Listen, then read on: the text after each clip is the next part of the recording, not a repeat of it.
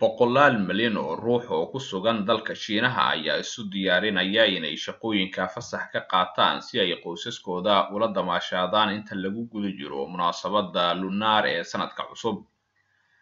Laakiin shaqaalaha qaarkood oo aad u nasiib badan ayaa helaya fasax dheeraad ah oo siddeed maalin ah kaasoo ka badan fasaxa caadiga ah ee halka isbuuc loogu talagalay kuwa fursadaasi haystana waa shaqaalaha haweenka doobka ah islamarkaana ay da-doodu gaartay soddonka sano. Fursaddan ayaa waxaa bixinaya shirkado dhowr ah oo ku yaalla ama ka howlgala waddanka shiinaha inkastoo hablaha loogu talagalay fasaxan ay qaadan karaan ama ay iska diidi karaan haddii ay doonaan. Sababta loo siinayo fasaxan ayaa ah inay shukaansi ku raadsadaan ayna helaan qof lamaana u noqda kaasoo ugu dambayntii horseedi kara inay isguursadaan shirkadaha shaqaalahooda siinaya fasaxa shukaansiga ayaa waxaa ka mid ah kuwa ka shaqeeya arrimaha dalxiiska. Warkan xiisaha leh oo soo jiitay guud ahaan dadka ku nool caalamka ayaa waxaa lagu soo daabacay wargeyska maalinla ahaa ee lagu magacaabo south china morning post. Sidoo kale qaar ka mid ah iskuullada ayaa macalimiinta haweenka ayaan la guursanin waxay siinayaan fasax kaasoo loogu magacdaray fasaxa jacaylka haweenka ay guur la'aantu ku dhacday. Dalka shiinaha haweenka aan weli la guursanin ee ay da-doodu ku dhowdahay soddonka sano ayaa waxaa loo bixiyaa magacyo qallafsan oo uu ka mid yahay haraadi kaasoo soomaalidu ay u taqaano guumays xaaladan ayaa ah mid si weyn loo wada og yahay oo ku sii badanaysa waddanka shiinaha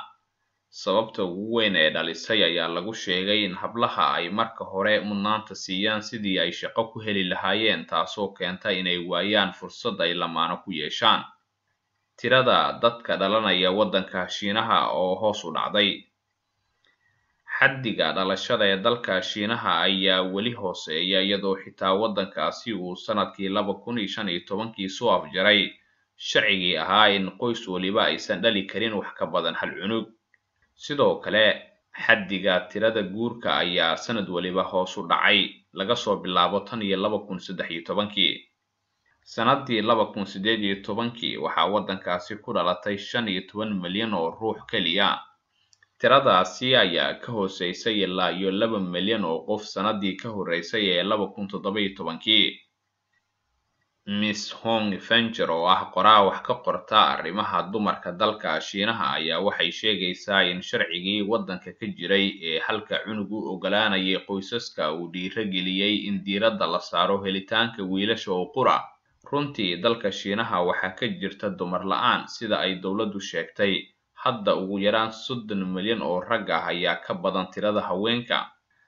macadka arrimaha bulshada shiinaha ayaa sheegaya in tirada shacabka ee waddankan oo hadda ah hal dhibic afar bilyan oo ruux ay hoos u dhacayso hal dhibic laba bilyan muddo kontonka sano ee soo socota.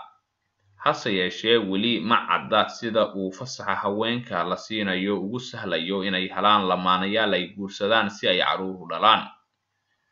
Huang li oo ka mid ah mas'uuliyiinta shirkadda hanjo sonjeng oo ka mid ah kuwa shaqaalahooda siinaya fasaxa shukaansiga ayaa warbaahinta u sheegtay in xaaladani aan la saadaali karaynin.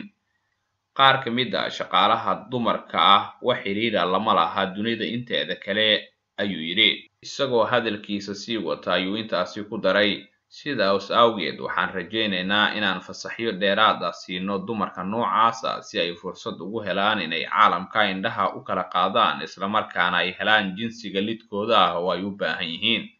Hase yeeshee miss hong finger ayaa aaminsan in tillaabadani ay tahay wax wanaagsan balse aysan saameyn badan yeelan doonin.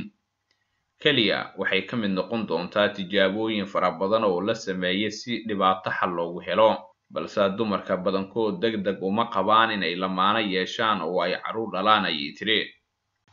xuquuqda warbixintan waxaan kaga mahad celinaynaa b b c da haddaba sidee baad u aragtaa daawade ololahan cusub ee waddanka shiinaha laga hirgeliyey ee la xidhiidha in dumarka aan guursanin shaqooyinka laga fasaxo si ay u raadsadaan rag ay shukaansadaan islamarkaana ay mustaqbal la yeeshaan? Waad mahadsan tahay